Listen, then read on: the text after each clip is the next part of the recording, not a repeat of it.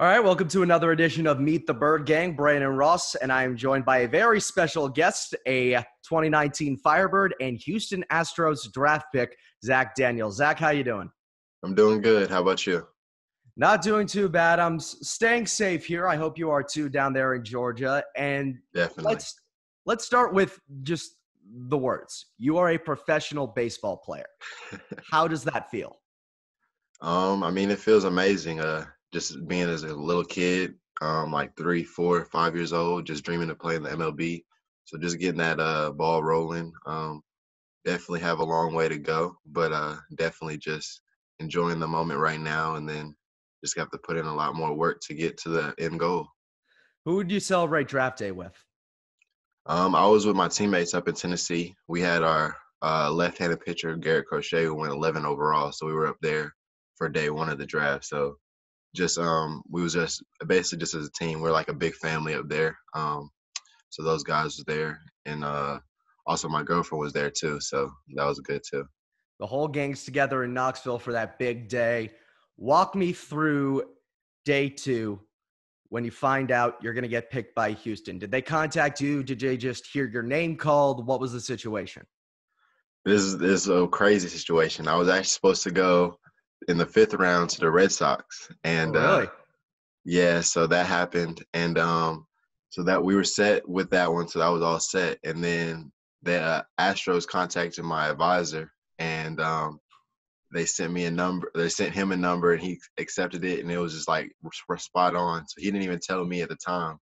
It just we saw it on TV, and it was just like wow. Well, hey, from one AL powerhouse to another, and you're heading to the Houston organization. You've already spent a couple days with the organization, so I, I want to get your initial sense of what you like most about Houston.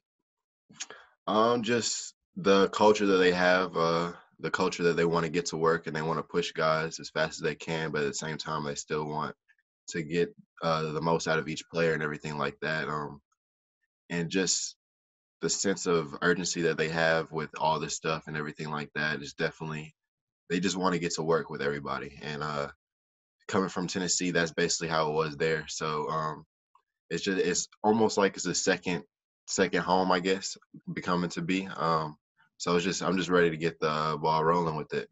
That'll be your future home. Let's go back to your past home of the last three years university of tennessee your college career. Spent your first two seasons there a little bit of trouble with the bat. You head to the Cape League, still not the best average. You hit sub 200. Was there any big takeaway you took from that Cape season? Because you certainly exploded 357 in your junior year. Um, just adding more rhythm and having a better approach in my swing as well. I mean, I changed it a little bit towards the end of the year, and it started having a little more success. But um, definitely just having a better approach, uh, rhythm in the swing, and then just pitch recognition as well. Um, and then just getting out and playing every day as well. So that definitely helped a lot too.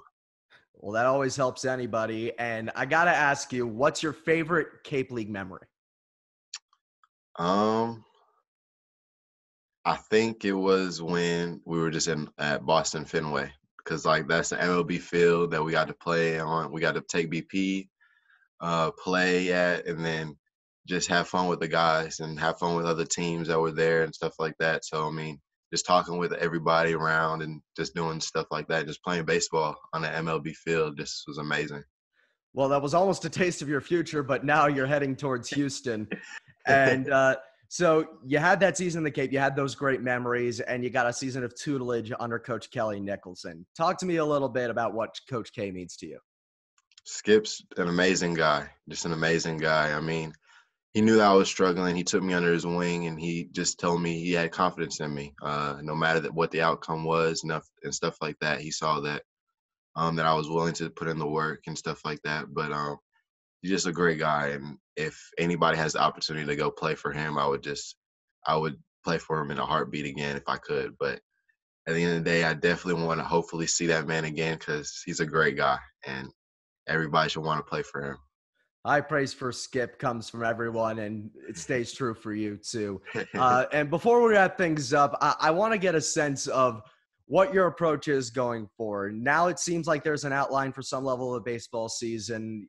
You don't know what the situation is, but what are your immediate next steps?